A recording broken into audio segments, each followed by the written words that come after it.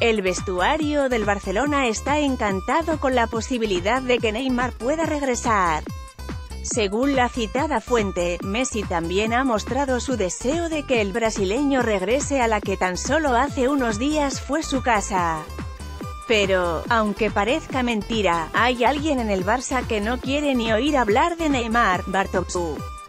El presidente, culé, no parece estar por la labor de trabajar en su hipotético regreso, por ello, está molesto con los cantos de sirena al brasileño desde su propio vestuario.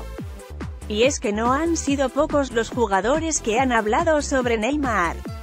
Los últimos fueron Siño y Rakitic, encantados con la posibilidad de ver vestido de nuevo de azulgrana al brasileño. No fueron pocas las críticas que le llovieron a Bartom el pasado verano. Aseguró que Neymar se iba a quedar en Can Barça, y la realidad le puso en su sitio apenas unas semanas después.